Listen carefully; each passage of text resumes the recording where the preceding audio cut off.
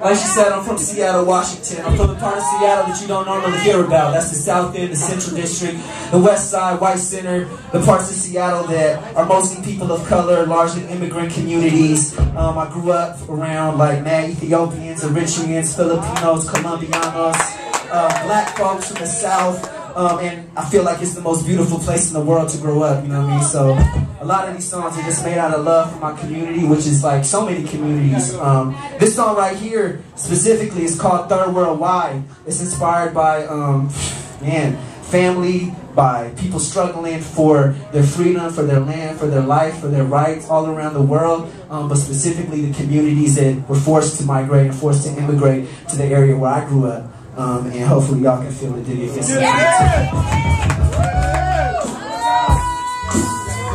it's a very West Coast thing. Very proud where I'm from. Yeah. What you know about this poor man's journey? He got holes in his shoes and his jeans hella dirty. Smile on his face with a wealth not worldly. With a style they got all these heads turning. High hopes, high debts, and pockets. They burning with no dope, high stress. In the streets, discerning through all the false hope and the lies they feed to you. Trying to build a future out of something feasible. But average income to some is just unreachable. We living like a cross of J and Pinheiro. Resembling them both in that same scenario. Survivor of the third world since he was a day old. You learn to bundle up when you heat your house with a stove. Same house is a home for like 20 of your folks. Y'all from between the war-torn family. They came to America and still don't understand me. Why? Cause I just won't settle for their money or their schools. I care about my life more than American rules. Not just to be a fool, but look what it's doing to you. Africa's dying and we all just trying to from Seattle to Soweto. All African ghettos, LA, Palestine, and the body so mine. The FA, Chiapas, they just can't stop us. To Addis Asmara, don't you forget Rwanda, Brooklyn, playing the rock is the belly of the monster. Senegal is on to Haiti in the DR. Everywhere that we are, to anywhere that we are. Still living like the third world, even in the first. I rap for the second generation of African immigrants resisting assimilation. I've traced this living to my bones, of to indigenous folks. From Anahuac, where I rock with a passion. Slight Amharic accent, ain't no right to passage, and ain't no kind of magic on how I came to be a man. I dare to just imagine You question everything they said up in this land bastard.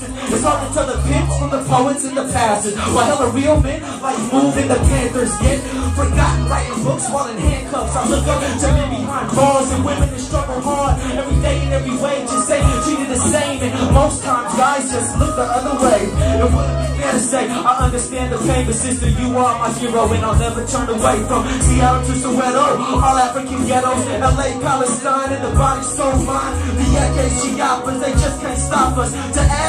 Marla, don't you forget Rwanda, Brooklyn, playing the rock is the belly of the monster. Senegal and on to Haiti in the DR. Everywhere that we are, to anywhere that we are. Still living like the third world, even in the first. For real, some days I don't know how I'm gonna eat. And everybody in Seattle wants me to rhyme on their feast like I'm in too deep.